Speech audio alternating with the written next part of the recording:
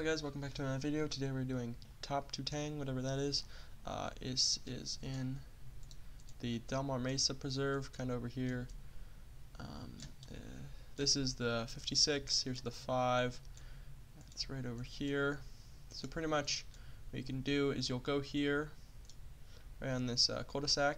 You know, kind of bike up from around here, and then up there, and then up here all the way to the power lines, or you can head over somewhere over there, but I like to come over here.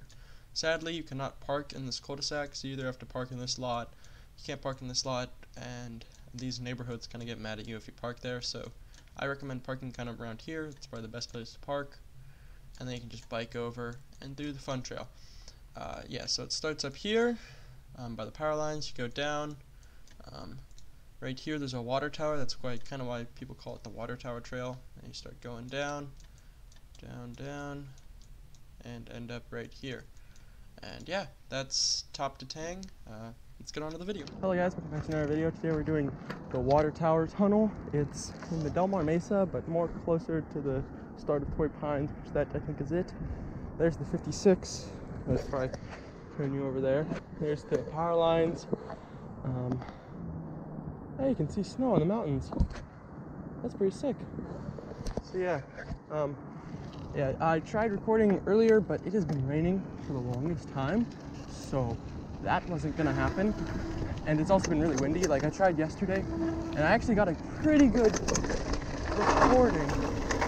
Um, my problem was it was uh, quite uh, camera angle was off, so you're pretty much just staring at my handlebars, which I don't know. I don't prefer that. If you guys want to watch me watch my handlebars only, uh, leave a comment down below you want to see that. I don't know why you would. But yeah, this trail's really nice. It's got some great berms, some nice jumps, and the soil is pretty nice today.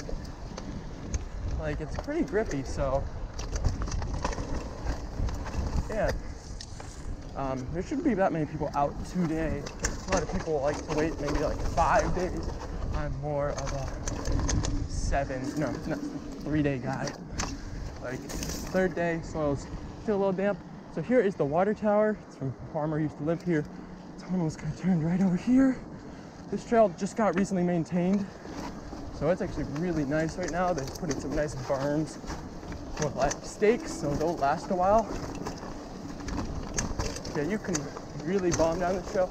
No one goes up this because there's better ways to go up. So don't expect to hit anyone.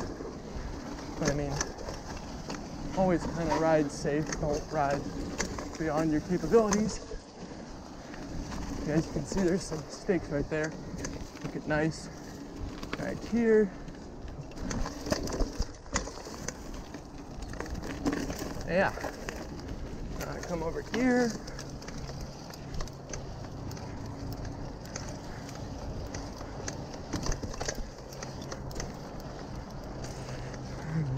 This way. And you can see that parking lot is kind of where it ends. So it's a really short trail.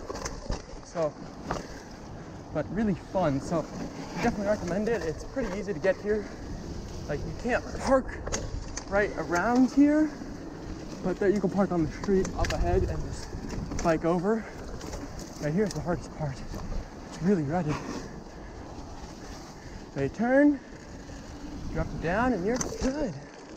And yeah, that's the entire trail. It takes like two minutes.